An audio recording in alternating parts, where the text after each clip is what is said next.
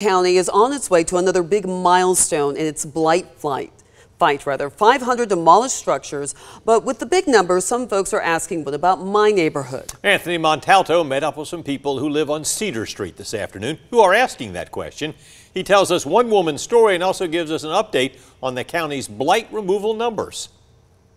Take a look behind me. Do you see a house? Well, I promise you it's there, because Donna Howard lives right across the street and she says every single day she asks, when is something gonna get done? I look at that every day and I wonder what's going on with that. Howard has no choice. If she walks out to her car to drive to church, Greater Overcoming, 1708 3rd Street. There the house is, overgrown with trash all around. Me and my brother, we would uh, clear the, the, the garbage because people come by here and throw the garbage and so we clear the garbage up and cut the bushes back and cut the grass.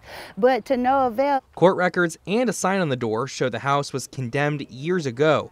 Howard says she's asked the county about the house before. The last inspector i talked to told me that it was on the list to be one of the bulldoze properties, so I'm, I'm waiting to see what they're going to do about it. Code Enforcement Director JT Ricketson says the county actually has several lists. There are 37 complete blight lists, coming out to nearly 1,900 properties they're watching. The folks who own those houses pay an extra tax, seven times their property tax. But they could get bumped to one of the knockdown lists if the house poses a public safety threat. Howard's not sure the house is dangerous to folks on her street, but she does want something done. The house not live in, it decays.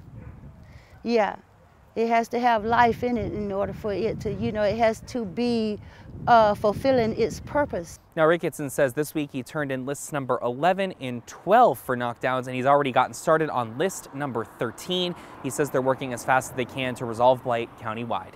In Macon, Anthony Montalto, 13 WMAZ News.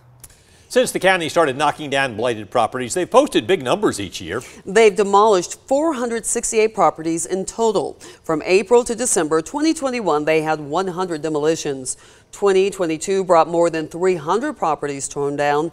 The county also partnered with Google to create a blight monitoring platform and track it as it develops. In January, Macon Bibb commissioners okayed $7.5 million in American Rescue Plan money for affordable housing and eliminating blight. Meanwhile,